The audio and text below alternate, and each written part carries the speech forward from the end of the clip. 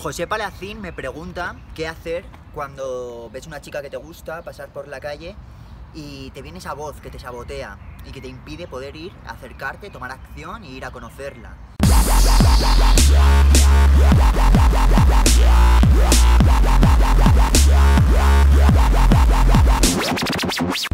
Lo mejor en estos casos, para que no te venga esa voz, es tomar acción inmediata. Eh, es muy conocido en el mundo de la seducción la regla de los tres segundos. Yo diría que no tienes que tardar ni un segundo en acercarte a la chica que te gusta. Toma acción inmediata.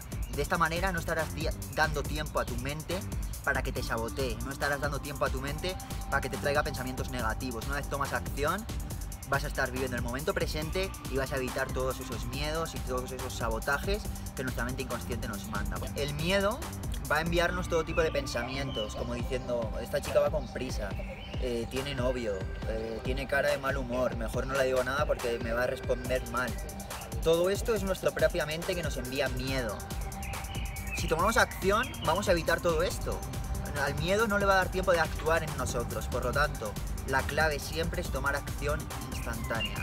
Acércate a la chica y una vez estés hablando con ella, ya sacarás esas conclusiones de si tiene novio o si no. Eso es algo que averiguarás una vez estés en la interacción. Todo lo demás va a ser miedo y basura mental que tu mente te va a estar enviando. Disfruta esa interacción y estate en el momento presente.